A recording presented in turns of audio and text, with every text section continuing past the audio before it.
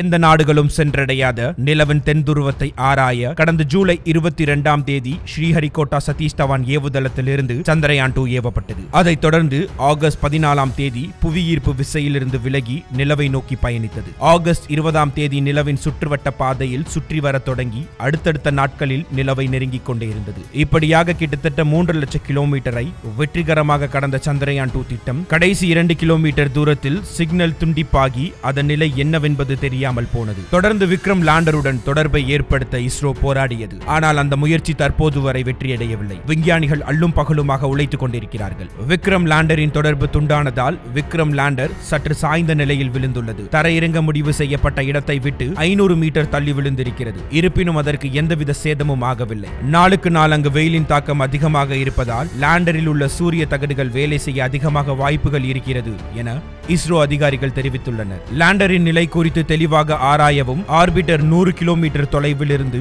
ஐம்பது கிலோமீட்டர் தொலைவிற்கு நெருக்கமான சுற்றுவட்ட பாதையில் பயணிக்கும்படி கட்டளை கொடுக்கப்பட்டுள்ளது. லேண்டர் குறித்து விரிவான அறிக்கை வெளியான பிறகே நிலை என்னவென்று தெரியும் என தெரிவிக்கப்பட்டிருக்கிறது. இந்த நிலையில் செப்டம்பர் ஒன்பதாம் தேதி இஸ்ரோ தலைவர் சிவன் சந்திரயான் டூ விண்கலத்தின் லேண்டர் விக்ரம் கண்டுபிடிக்கப்பட்டது. லேண்டரின் தகவல் துண்டிக்கப்பட்ட நிலையில் ஆர்பிட்டர் எடுத்த புகைப்படத்தின் லேண்டர் விக்ரம் இருப்பது தெரிய வந்துள்ளது ஆனாலும் இன்னும் லேண்டருடன் தொடர்பு ஏற்படுத்தப்படவில்லை.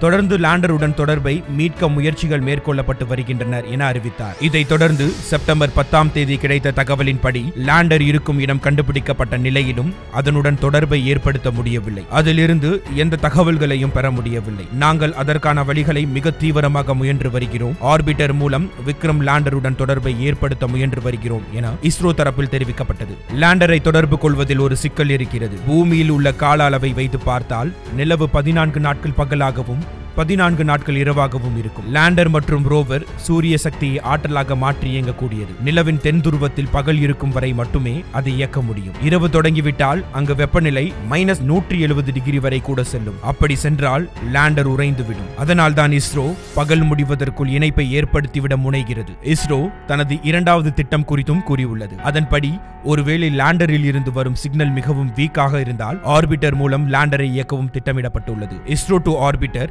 orbiter to lander என அந்த தொடர்பு இருக்கும் என வல்லுநர்கள் கூறுகின்றனர். இந்த திட்டம் வெற்றியடையுமா என்பதை நாம் பொறுத்திருந்துதான் பார்க்க வேண்டும்.